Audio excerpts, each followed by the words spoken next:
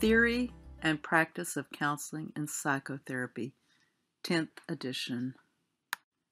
Chapter 4 Psychoanalytic Therapy Introduction Most of the theories of counseling and psychotherapy were influenced by psychoanalytic principles and techniques. Attention to psychodynamic factors that motivate behavior, Freudian theory, gives a brief attention to Carl Jung's approach. View of human nature. We have different terms. Libido is defined as sexual energy. Life instincts serve the purpose of the survival of the individual and the human race. Freud also postulates death instincts. People manifest through their behavior an unconscious wish to die, or to hurt themselves. Structure of the personality. The id is like the demanding child. It's ruled by the pleasure principle. The ego is like a traffic cop and ruled by the reality principle. The superego is like the judge and is ruled by the moral principle. Conscious and unconscious. The following are clinical evidence for postulating the unconscious dreams, slips of the tongue, post hypnotic suggestions, material derived from free association techniques, material derived from projective techniques, symbolic content of psychotic symptoms. Consciousness is a thin slice of the total mind. Like the iceberg that lies below the surface of the water, the larger part of the mind exists below the surface of awareness. The unconscious stores all experiences, memories, and repressed material. It's the root of all forms of neurotic symptoms and behaviors. Anxiety. Anxiety is a feeling of dread resulting from repressed feelings, memories, and desires. It develops out of conflict among the id, ego, and superego to control psychic energy.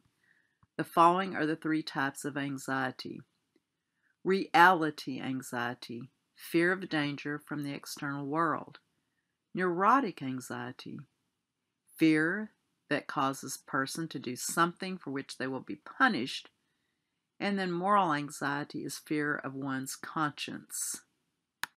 Ego defense mechanisms.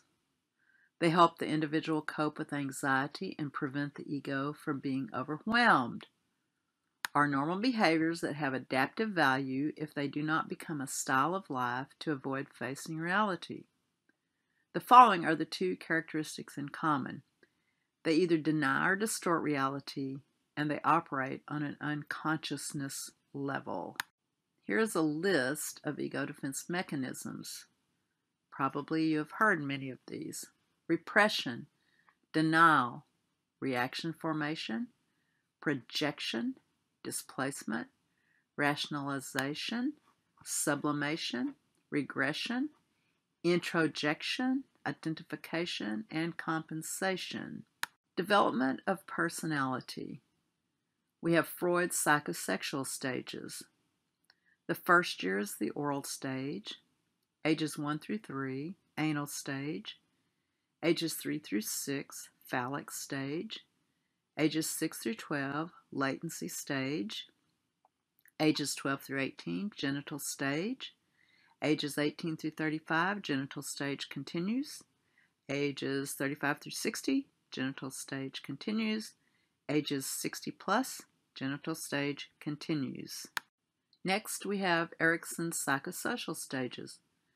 First year is infancy, ages 1 through 3, early childhood, ages 3 through 6, preschool age, ages 6 through 12, school age, ages 12 through 18, adolescence, ages 18 through 35, young adulthood, ages 35 through 60, middle age, ages 60 plus, later life.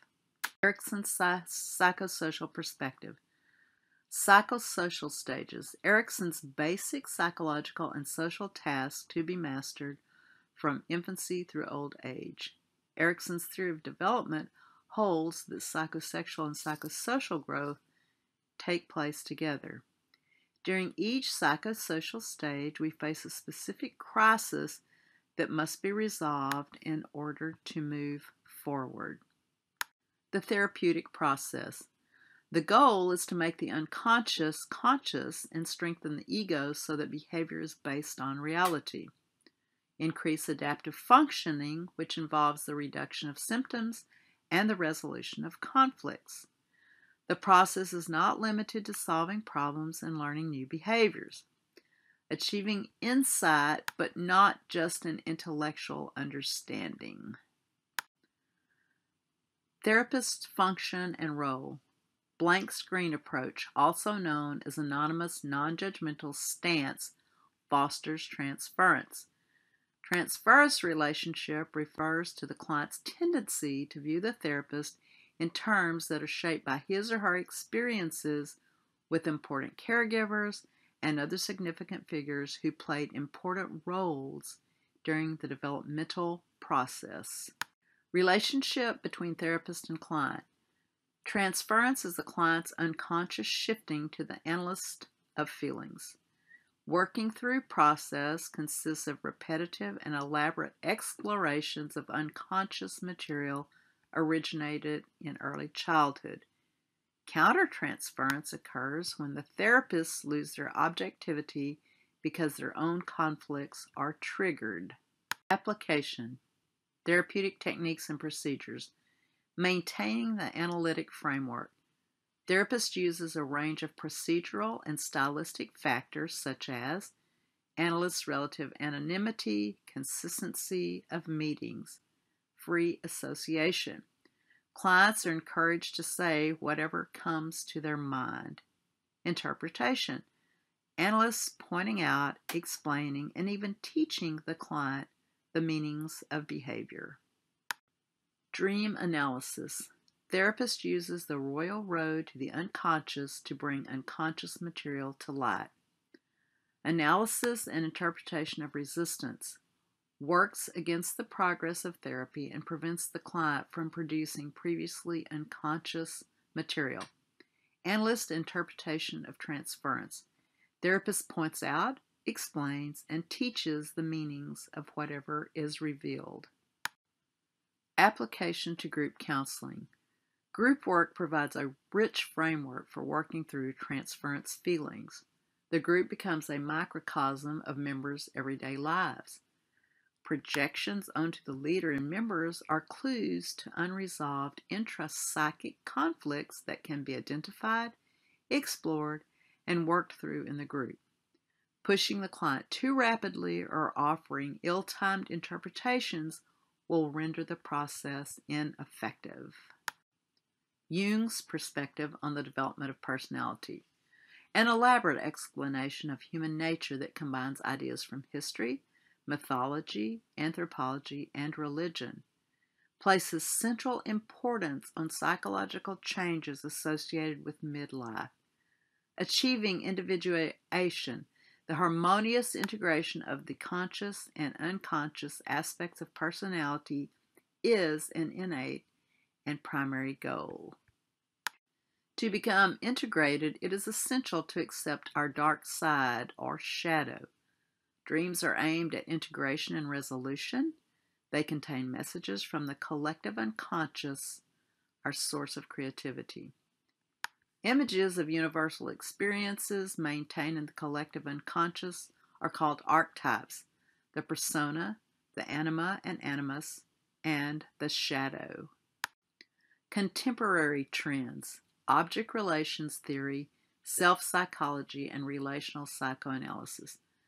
Object relations emphasizes attachment and separation. Self psychology emphasizes how we use interpersonal relationships, self objects, to develop our own sense of self.